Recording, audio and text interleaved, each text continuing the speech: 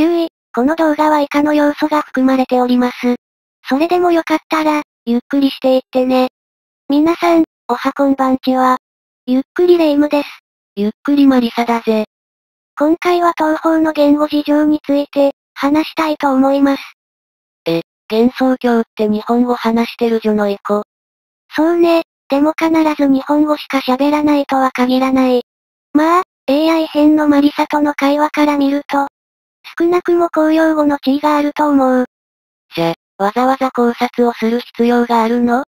確かに、幻想郷では日本語を話しているが。でも、幻想郷の日本語は本当に私たちが知っている日本語なの？おい、レイム。白霊大結界の成り立てのはいつですか？まだ話終わってないけど、答えてください。はいはい、答えてやる。確か、結界の成立は明治維新の頃だぜ。そうですね。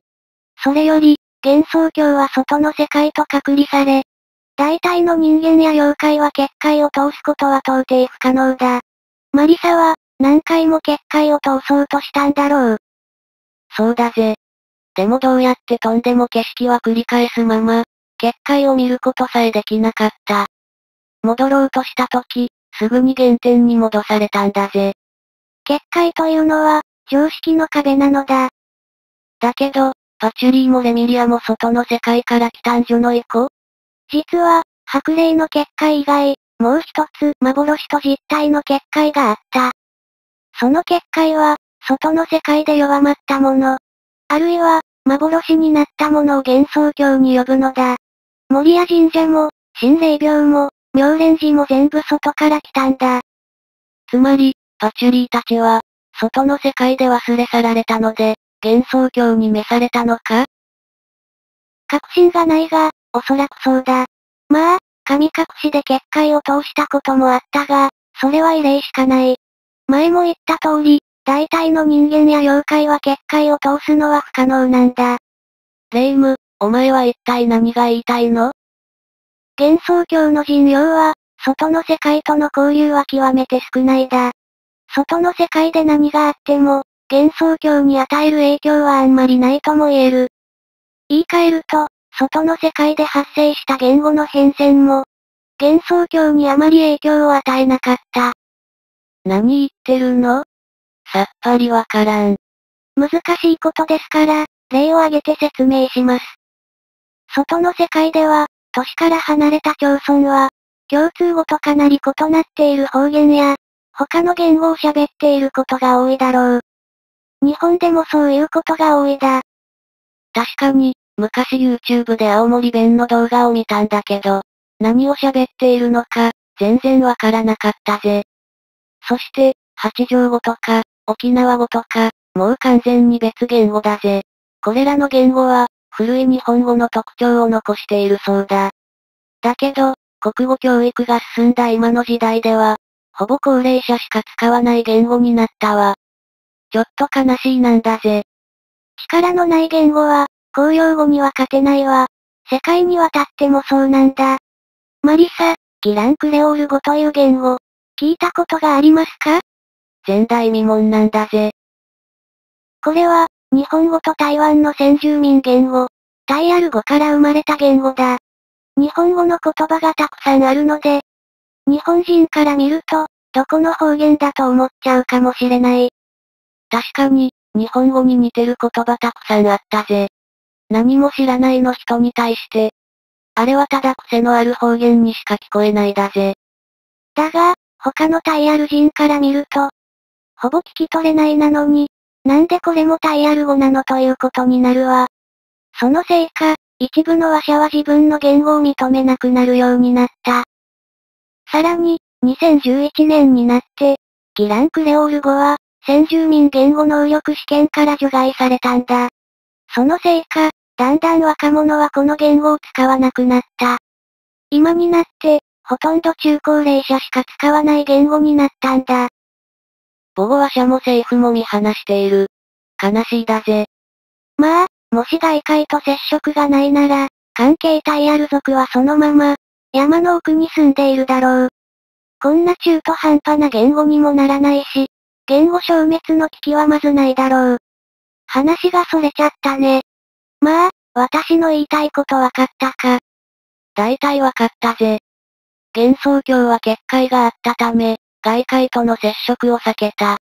そのおかげで、幻想郷の日本語は、外の世界の政治も戦争に影響されてない、明治の日本語をそのまま残した。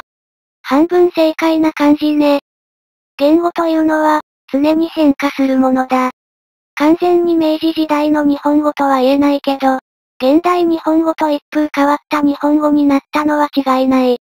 その上、21世紀の現代と違って、明治初期の時の方言は、まだ生き生きとしているだろう。おい、言い方ちょっとキモいだぜ。まあ、幻想郷の居場所を知れば、何の方言を喋ってることも知れる。確か、居場所は、東の国の人里離れた山の中。だそうだ。早口言葉か？早口言葉じゃない、東の国だ。東というのは、機内島の地方、もしくは関東地方。だけど、この範囲から見ると、絞るには厳しいと思う。確かに、範囲が広すぎる。幸い、昔の資料を見て範囲を縮めるぐらいはできる。幻想郷には富士の樹海から行けたりするのですか？幻想郷のイメージ的には東北か四国ですね。もっとも、蓬莱山は、富士、富士山野のイメージでもありますが。東北か四国か。四国は逆方向だから、東北の方が可能性高いだぜ。でも、富士山の可能性も否定できないわ。妖怪の山も富士山と同じくてとんでもない高いだし。妖怪の山は石長姫の山、すなわち、八ヶ岳。富士山ではないわ。八ヶ岳は富士山より800メートルも低いだ。あんな高い山は日本の最高峰の富士山しかないわ。今の八ヶ岳は石長姫の妹、昨夜姫が削ったんだ。元の八ヶ岳は富士山に遜色のない高い山だった。今、幻想郷にいる妖怪の山は、破壊される前の八ヶ岳本来の姿と思われる。余談だが、八ヶ岳は諏訪湖と同じく信濃にいる。距離も遠くない。森屋神社ももともと諏訪地区にあった。そして、聖も信濃出身で、何か関係があるかもしれないね。つまり、幻想郷は現代日本の八ヶ岳にいるか？資料から見ると、八ヶ岳にある可能性が最も高いだと思う。外の世界の白霊神社もこの近くにいるかもね。というわけで、幻想郷は明治初期の長野方言を喋っているのか？多分そうだな。でも、古風な言語や別の言語を使っていると言われて、まだ上代東国語を使っていると考えられるわ。じゃ、幻想郷の日本語はどんな感じのか？まあ、長野方言に関する資料は多くないけど、ある程度は推測できる。長野方言の一つ、秋山郷方言はかなり古い特徴を残っている。というより、卑怯すぎて、外の世界との接触がないから、古い日本語の特徴をそのまま保存した。八ヶ岳は、多分南進方言を喋っているけど、結界のある幻想郷はより古い特徴を残っているだろう。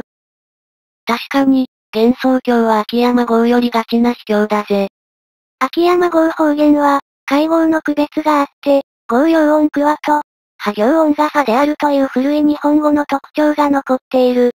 いまいちわからないだけど、会合って何？合用音って何？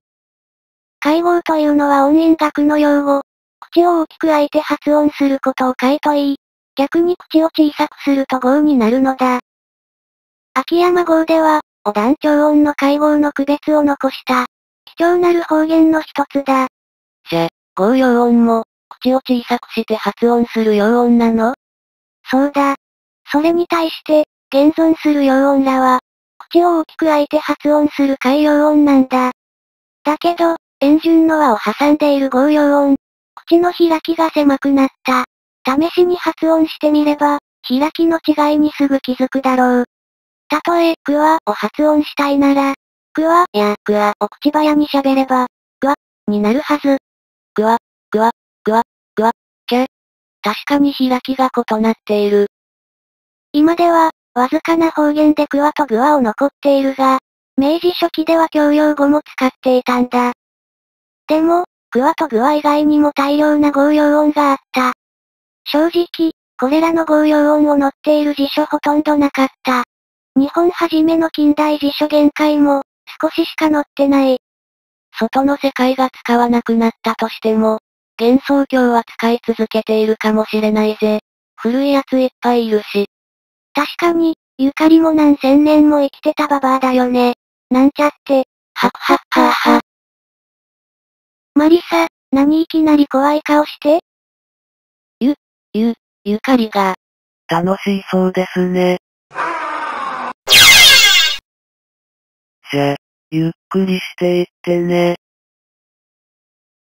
見苦しい姿をお見せしてしまった。実況続きます。先言えなかった波行音を解説します。旧仮名遣いを学んだ方は知っていると思うけど。もう察したわ。昔の波行には半濁音がないだぜ。なぜだと思う？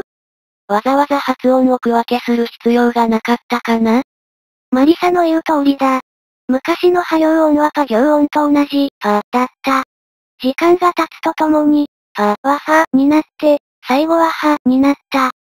そして、語中と語尾にある波行音はほとんど和行音になった。現代仮名遣いでも名残を見ることができる。女子のパもペも、波行転語で和と上になった。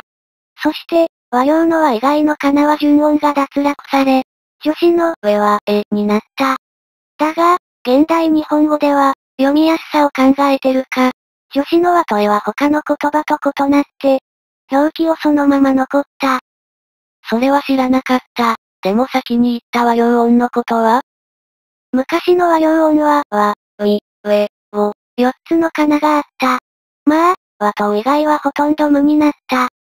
和行音も完璧に保存されたら、幻想郷の日本語は言語学の宝庫に違いないぜ。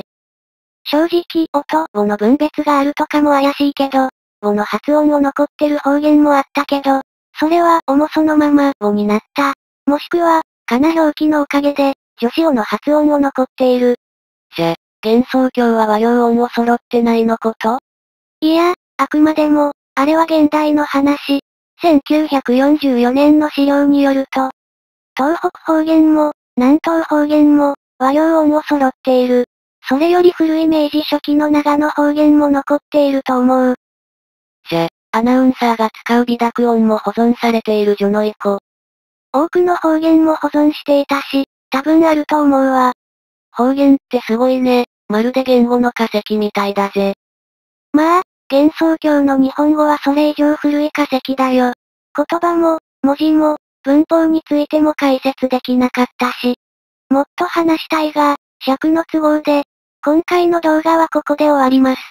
音韻で言えなかったものは動画のエンドで補足します。では、ご視聴ありがとうございました。